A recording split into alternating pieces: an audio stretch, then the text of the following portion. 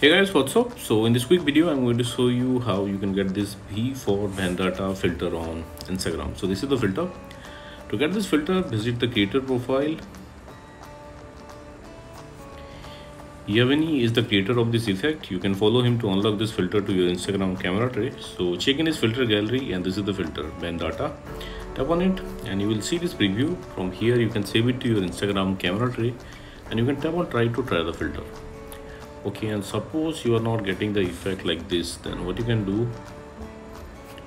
Okay visit this website. Link to this website i'll give you in the description box below. So here in this website you will see link to the filter. Just tap on the link and open it with instagram. Okay and likewise also you can get this effect on instagram. So that's it guys. Thanks for watching the video. See you in the next video